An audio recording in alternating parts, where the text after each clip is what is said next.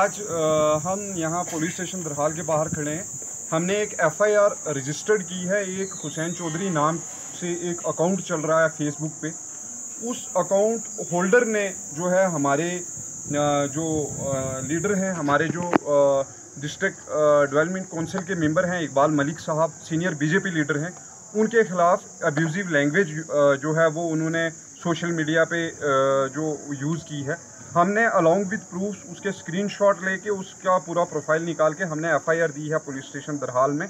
हमें पूरा यकीन है कि हमारे जो एसएचओ साहब हैं, वो इस पर जल्द अज जल्द कार्रवाई करेंगे और जो भी वो इंसान है, वो उसको जो उसमें मुलविस है, उसको जल्दी से गिरफ़्तार किया जाएगा। आपके चैनल के माध्यम से मैं तमाम जितनी भी बरदरियाँ हैं, इस वक्त आप लोगों ने आग पकड़ी हुई है।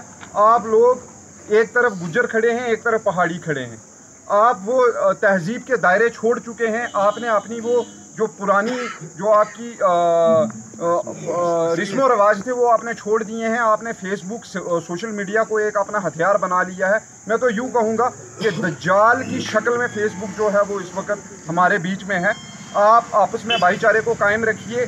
किसी लीडर को गालियाँ देने से या किसी ऐसे आ, ऐसे एकदम जो हम स्टेप्स उठा रहे हैं ये उठाने से आपकी नस्लों का पता चलता है आपके ख़ानदान का पता चलता है।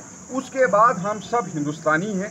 अगर हिंदुस्तान के होम मिनिस्टर यहाँ पे आ रहे हैं अगर आ, वो स्पेशली यहाँ कोई पहाड़ियों के लिए नहीं आ रहे स्पेशली गुजरों के लिए नहीं आ रहे हैं। चार तारीख को उनका यहाँ पे दौरा है। हम सबको मिलजुल कर ये चाहिए कि हम उनका वल्हाना इस्तकबाल करें और अच्छे से उनका इस्तकबाल करें। उसके बाद ये जो हमारा भाईचारा जिसको कुछ चंद अनासर जो हैं, वो पहाड़ी तबका में भी हैं चंद अनासर जो हैं, वो गुजर तबका में भी हैं। आपने कल पुंछ में देखा होगा, कुछ लोग यहाँ पे ये नारेबाजियाँ कर रहे थे कि नहीं, हमने जो है ब्रदरहुड को मेंटेन रखना है, कल उनकी असलियत सामने आ चुकी है। आप गरीब आवाम को, आप इन सादा लोगों को मत वर्गलाइए।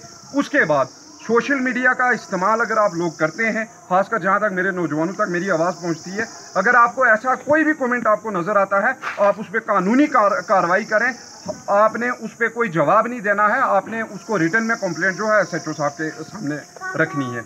हमने पूरी ब्लॉक डेवलपमेंट काउंसिल के जितने भी हमारे मेंबर्स हैं, उसके बाद हमारी यूथ हमारे पेंचिस हजरात, हमारे सरपंचिस हजरात, दरहाल के एवरी सिटीज़न की तरफ़ से हमने आज जो है एप्लीकेशन यहाँ पे फ़ाइल की है। और मैं उन लोगों को वार्न करना चाहता हूँ कि जो इस तरह के कमेंट्स सोशल मीडिया पे किसी लीडर के खिलाफ दे रहे हैं वो लीडर हमारे जो हैं हम उनको अपना रोल मॉडल मानकर चलते हैं। अगर उनकी तरफ़ इस तरह की आज के बाद अगर कोई आ, कोई इस तरह की गलती करेगा तो उसको हम हरगिज़ बर्दाश्त नहीं करेंगे।